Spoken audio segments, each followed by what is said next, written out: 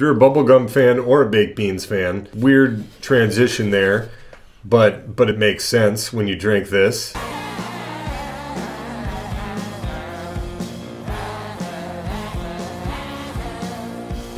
Welcome back, everyone. It's Dan and Eddie, the Deathless Dogs, and we've got a blind on our hands here today with three limited releases from Maker's Mark this year. You've got your Maker's 46 Cask Strength, your Maker's FAE01 from the Wood Finishing Series, and the second entry in the Wood Finishing Series this year, appropriately named FAE02. Brilliant. Yeah, they really uh, went out on a limb there. with the naming. These are three bottles that we've had just about the same amount out of. Deadlocked. So these are all coming from very similar places in their life. We are looking for the best of the best this year. Yeah, whereas last year I think we went heavy in the Booker's. This year was kind of a maker's year for us, and I'm happy about that because I do like maker's mark stuff. So it was cool to get all of these limited releases this year. The only one we don't have, which isn't even really limited, is the regular just Maker's Mark cask strength. These are all going to be coming in at just about the same proof point. So nothing should jump out that way to tell us which is which. And honestly, I don't have any bias going into this anyway. I'm just kind of interested to see how it all shakes out, having drank and enjoyed all three of these this year. Hoping we can crown an undisputed champion and put the belt on it. Belt is on the table. I think I'm going to know what I'm going to know when I know it. Yeah, you always say that and then you never do. No, I feel like I have. No, if you remember the Booker's blind, you put the one that you were dead set on being first last. What did you put in third? B. B was Granny's batch. I went, what? B was Granny's batch. No fucking way. All we got to do now is start jumping in on the nose for A. It's a very like wheated bourbon, typical maker's nose that I'm getting with a little bit of that cinnamon poking through. Classic Maker's Mark through and through. Weirdly enough, like near the tail end, I'm talking the finish of the smell. Mm-hmm. You get a little like Vaseline type vibe or something weird.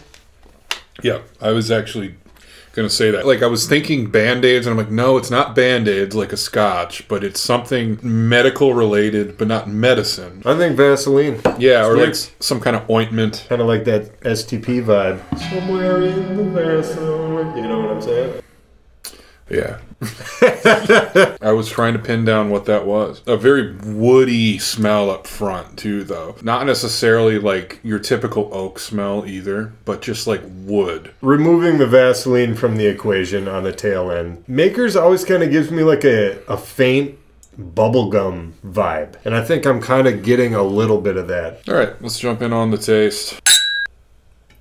Finish is long and strong on that one. Quite oaky. On the tip of my tongue, it's definitely cinnamon forward with actually some of that bubblegum that I got on the smell. All in all, very drinkable, very pleasant, especially at that 110 ish proof point. Yeah, the finish is weird. It takes a second. You swallow it and you're like, ah, nothing. Then all of a sudden, the oak shows up, dries out your tongue, makes you want to go in for another drink. Mouthfeel is kind of dry. It's a woody experience.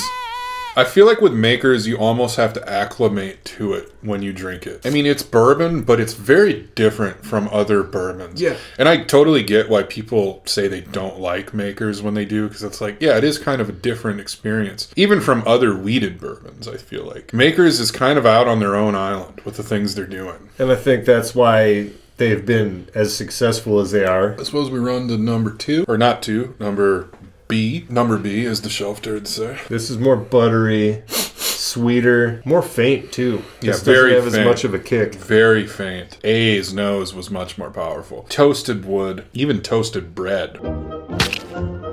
It smells dry.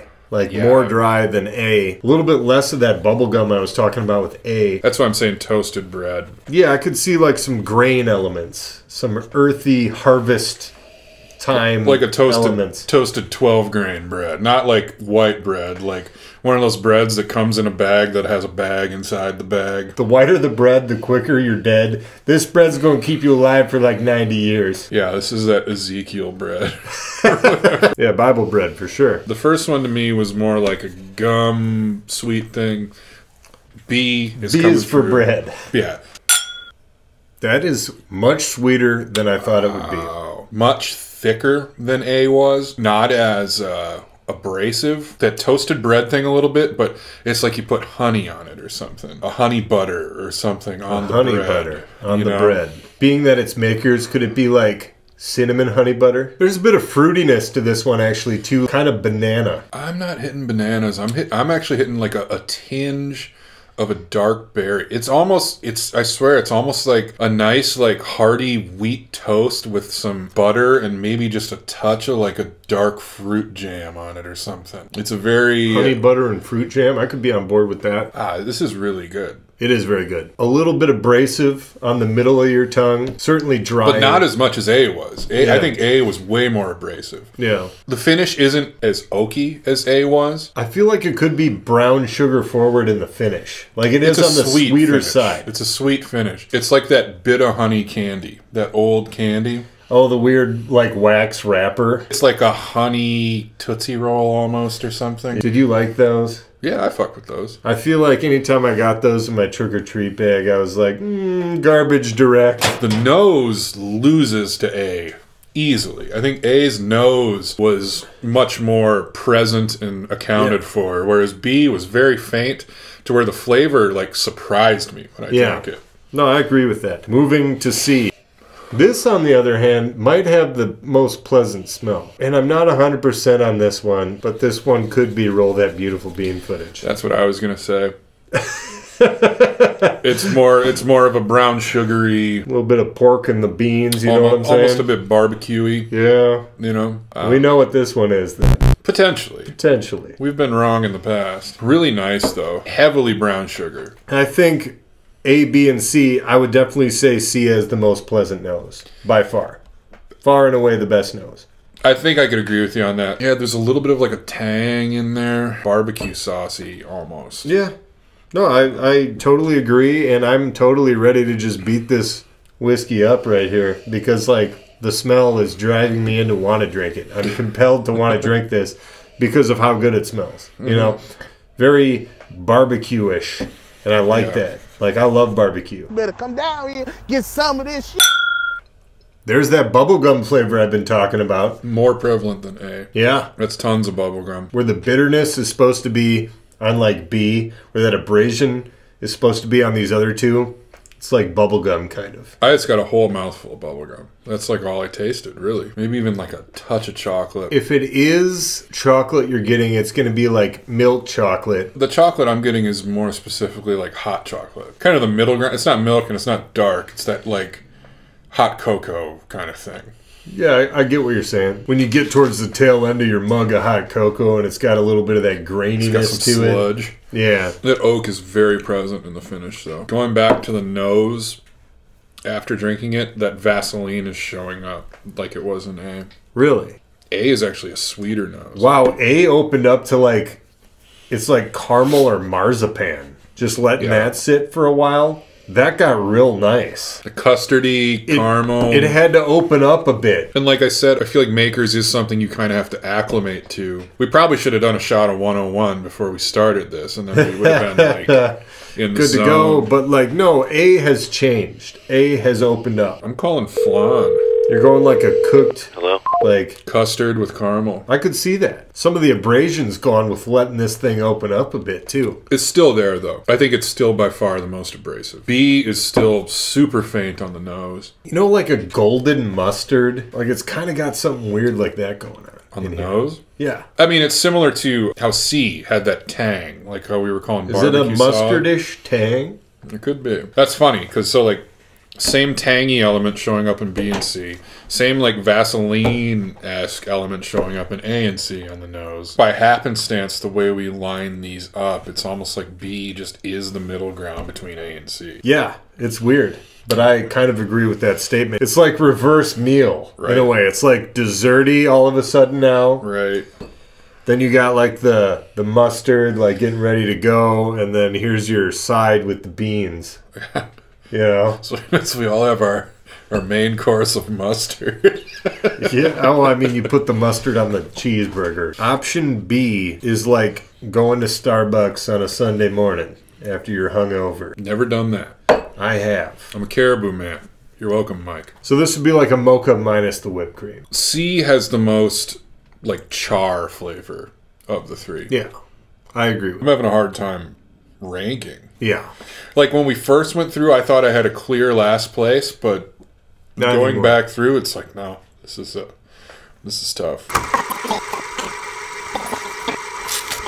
It's really close, honestly. Even my third place that I'm putting in third is not like a distant third from first, even. This is like photo finish, you know? Yeah. Are we ready for the grand reveal? What did you put for last place? Last place, I put C. Last place, I picked A. So your last place, C, F A E O 2. Wow. My last place was A, Makers 46. What did you put for your winner? My winner, I put B. I also chose B as my winner. We have a unanimous victory, F A E O 1. not, Did what, not see that coming. not what we thought it was. No. It was not the beans. No. We got a belt. FAEO1. Your 2021 champion of the Makers releases. Did not expect that. That I'm a bit shocked. FAEO1 has opened up very nicely from the first It really has, yeah. it. The champion The champion. has been crowned. So there it is, the ranking of the 2021 Makers limited releases with kind of a shocking victory for us personally. Just thinking, you know, and drinking these on their own, I honestly thought FAEO2 was going to take it. Yeah. Um, when I I, and even when I had the mouthfeel on B, I was kind of like, I think that's O2. Yep. But like we said, not a wide margin. All of these great bottles. Did you buy any of these bottles or all three of them this year? Which one was your favorite? If you've got all three of these, I totally recommend doing this, blinding them up, all three of them, and uh, checking it out, seeing which one comes through as your favorite. Let us know which one is your winner this year. If you haven't yet, like the video, subscribe to the channel. We'll be here again next week doing some more whiskey drinking and whatever else we feel like doing. From the Western Wisconsin Whiskey Emporium for ladies and gentlemen, thanks for tuning in, and we'll see you next time.